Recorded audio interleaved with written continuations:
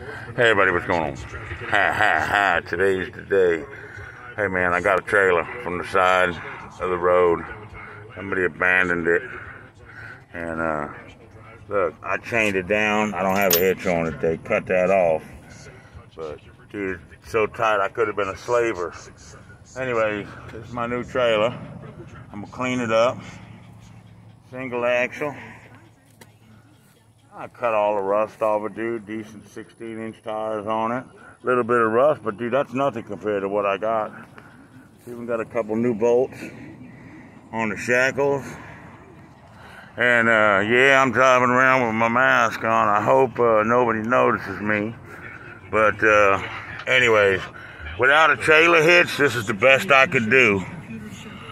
Look at that son of a gun, huh? Like I say, Kunta Kinte couldn't have got out of this shit.